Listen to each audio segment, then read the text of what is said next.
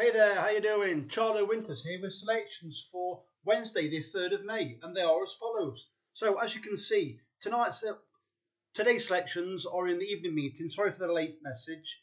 My bets are on, as you can see. I've had a pound each way, lucky 15, totaling £30. Decide for yourself how you'd like to stake it, but this is what I'm having. If you haven't got that much money to put on, just it's fine. Just put a lesser stake on, same bet, lesser stake. Anyway, the first selection is Clodovy at 10 to 1. In the 610 at Wetherby, they're paying four places instead of three. The second selection is Howzat Harris at 7 to 1. In the 620 at Sedgefield, paying four places instead of three. This horse is on the on the improve. It's a poor horse, poor race, but they are offering four places in just an eight runner race. I, do, I do think it will appreciate the slightly quicker ground as well.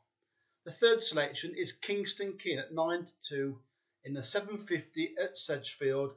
This horse, I'm expecting it to, to make all. It, it runs over a variety of trips, but I think if it gets an easy lead, I think we've got a cracking chance. If it gets taken on for it, well, there could be question marks. And finally, Fire in the Rain at 9 to 1 in the in the 10 past 8 at Wetherby, paying five places instead of four. This horse has been having a few problems when, when it first leaves the stalls. It's had jo- Joanna Mason on board one time, but it's Shane Gray this time. Well, you may know my opinion on uh, Joanna Mason. I'm not a biggest fan. I'm, I'm not a critic, but it's like she never seems to ride a winner for me, put it that way. So we've got Shane Gray on board today.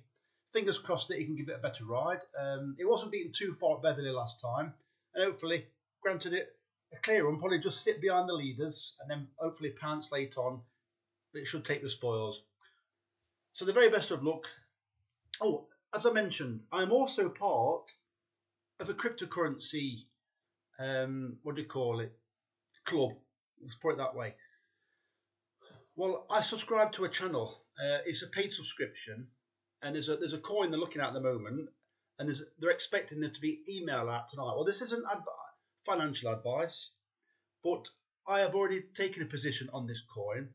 When this email goes out about 5 p.m. UK time, they are expecting this coin to increase.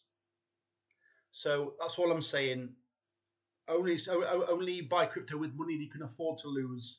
This is not ad, uh, investment advice. So the very best of luck. Oh, by the way, you can only trade it on trade tradeogre.com if anybody's actually already got an account or interested. And the, the cryptocurrency is Equilibria. I believe the, the symbol is XEC. Sorry, no, it's it's EXQ. Right, let me just double check that. Sorry, sorry for that. Right. EXQ.